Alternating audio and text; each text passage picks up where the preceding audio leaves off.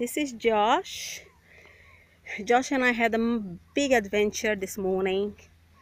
We had about four hours on a minibus and another half an hour on a big truck over the river to get to this place and this is like a reservation is protected is an area protected